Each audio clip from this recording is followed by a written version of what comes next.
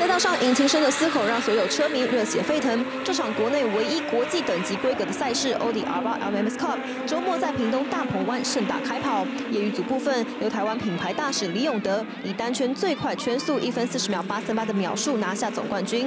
未来希望带领国内更多车手继续争光。他个人呢，也从他五年前奥迪 LMS Cup 成立的时候就加入他们这个比赛。那一直以来呢，陆陆续续呢，我们也带了很多台湾的车手。那我相信呢，未来呢，呃，一定会有更多的好手，呃，能为来未来为台湾争光，为台湾出赛。本站赛事结束，李永德也确定以总积分一百九十四分获得业余年度冠军。当然，除了本身优秀的操作实力，更要把功劳归给后勤团队，调教出征服刁钻赛道的红色厂车。对，那大鹏湾其实一个蛮刁钻的它赛赛道，虽然没有很长的直线跟那个高速弯，可是它有很多小弯。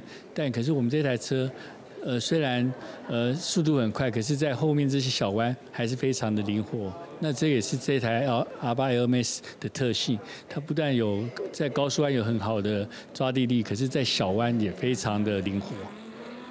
奥迪 R8 LMS Cup 连续两年在台湾举办，现场还开放观众体验厂车，感受奔驰在赛道上的刺激快感。另外，更少不了香车配美人镜头，为比赛画下完美句点。也期待最终站的上海车手们能再创佳绩。我来体育新闻采访报道。